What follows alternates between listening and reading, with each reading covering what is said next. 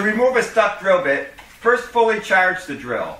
Now put it in reverse and maximize the torque setting.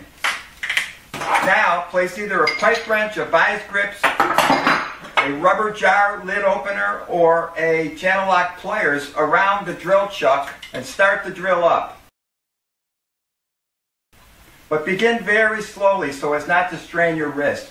You can rest the base of the drill and the base of the tool up against your chest.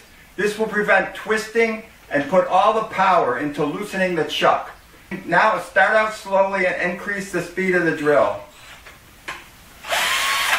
The bit should pop right out.